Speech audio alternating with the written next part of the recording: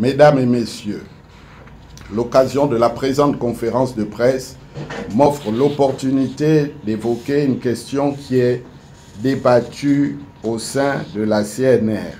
Cette question concerne l'appel au boycott des élections législatives lancé par certains dans notre famille politique.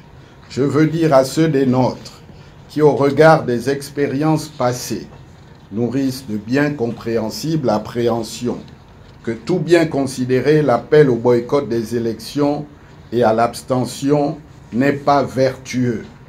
L'expérience récente ou ancienne aux législatives de 1990, de mars 1991, élection à deux tours, et décembre 2011 l'a largement démontré. Cette dernière élection a sécrété une majorité monocolore et figée qui a légiféré jusqu'à son récent renvoi et qui a même permis de voter euh, de manière abusive la récente révision constitutionnelle.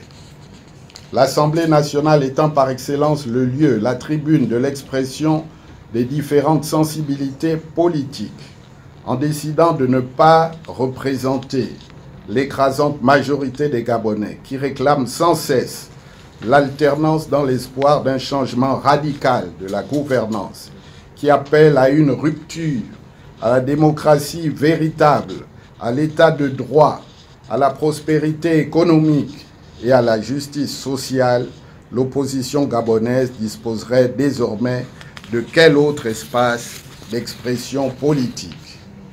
Avec le rassemblement Héritage et Modernité.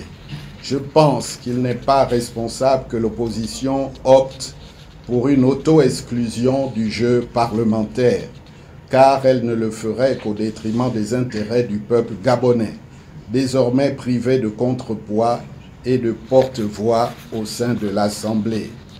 Il va de soi que si elle venait à reproduire cette erreur stratégique, l'opposition gabonaise perdrait aux yeux de tous le crédit dont elle jouit. Elle établirait durablement dans l'esprit de ceux qui la soutiennent au Gabon et hors de notre pays un doute sur sa réelle capacité à conquérir et exercer le pouvoir. Prôner le boycott revient tout simplement à consolider le pouvoir du régime que nous combattons et qui n'en demande pas tant. Prôner le boycott revient à priver l'immense majorité des Gabonais qui, du fond du pays, attendent impatiemment l'occasion de ces législatives pour confirmer les résultats de l'élection présidentielle de 2016 et ensevelir le système PDG qui tient tel un gang mafieux le pays depuis près de 50 ans.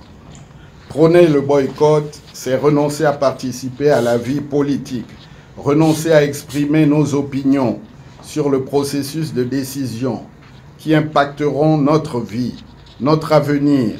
C'est renoncer à hiérarchiser les interventions publiques. C'est renoncer à améliorer le fonctionnement de notre démocratie par le choix de nos dirigeants.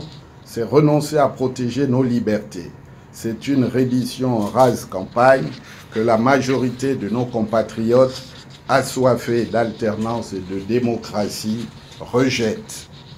À l'écoute de la demande politique invariablement exprimée par nos compatriotes sur toute l'étendue du territoire national, le Rassemblement Héritage et Modernité approuve et assume pleinement sa décision de participer aux élections législatives et toutes celles à venir.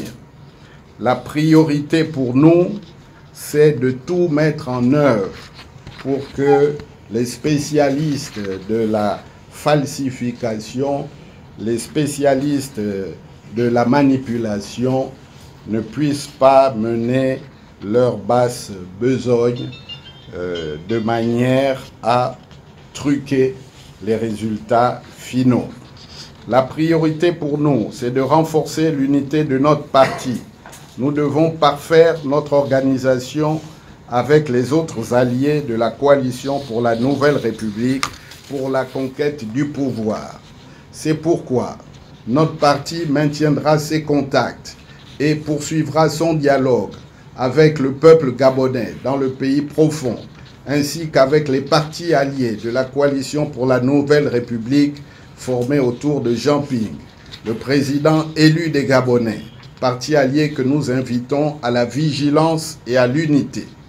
La récente tournée triomphale dans la province de Logoué-Vindo, dont je salue le patriotisme, nous donne la preuve, s'il en est besoin, de la pertinence de notre engagement. Oui, comme nous l'ont dit nos compatriotes, c'est le moment de confirmer. Et nous allons le faire avec toutes les nombreuses coordinations territoriales et de véritables essaims de militants que nous avons mis en place avec nos partenaires et celles à venir, ainsi qu'avec les forces alliées au sein de la CNR et toutes celles de l'opposition véritable qui doivent vectoriser la recomposition et le renouvellement du paysage politique de notre pays.